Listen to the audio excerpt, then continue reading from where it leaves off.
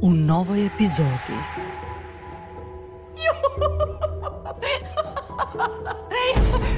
Šta je to? Cifra koju ti nudim. Evri ili dinari?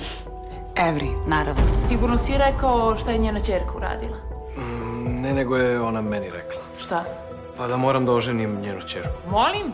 Dobro, i šta si ti rekao na to? Kako može on da te pozove i da iza njegovog poziva ide poziv od nepoznatog broja koji je uvek isti? Mislila sam da ćeš mi se javiti telefonom kad te budu pustili.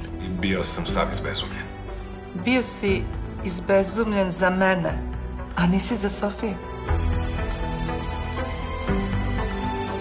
Igra sudbine. Večeras u 21. Na prvoj.